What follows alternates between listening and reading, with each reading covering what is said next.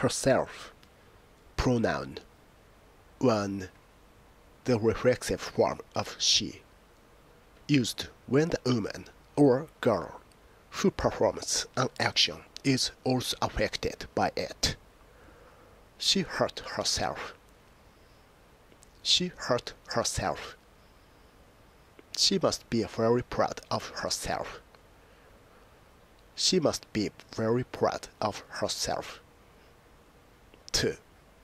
2. Used to emphasize the female subject or object of a sentence. She told me the news herself. She told me the news herself. Jane herself was at the meeting.